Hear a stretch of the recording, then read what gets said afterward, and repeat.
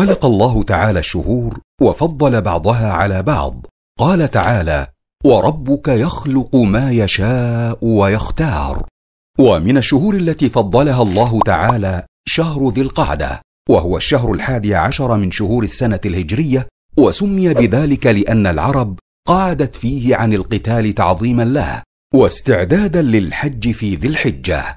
ومن خصائصه أنه بداية الأشهر الحرم التي قال الله فيها إن عدة الشهور عند الله اثنا عشر شهرا في كتاب الله يوم خلق السماوات والأرض منها أربعة حرم ذلك الدين القيم فلا تظلموا فيهن أنفسكم.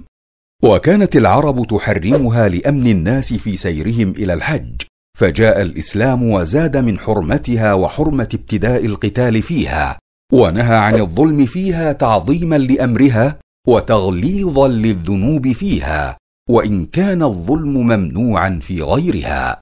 ومن خصائصه أنه من أشهر الحج التي لا تنعقد نية الحج إلا فيها وهي شوال وذو القعدة وذو الحجة. قال تعالى الحج أشهر معلومات.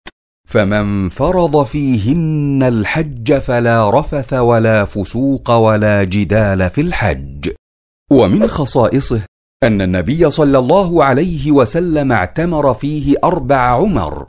فعن أنس رضي الله عنه أن النبي صلى الله عليه وسلم اعتمر أربع عمر. كلهن في ذي القعدة إلا التي مع حجته. قال النووي رحمه الله إنما اعتمر النبي صلى الله عليه وسلم هذه العمرة في ذي القعدة لفضيلة هذا الشهر ولمخالفة الجاهلية في ذلك فإنهم كانوا يرون العمرة في الأشهر الحرم أفجر الفجور.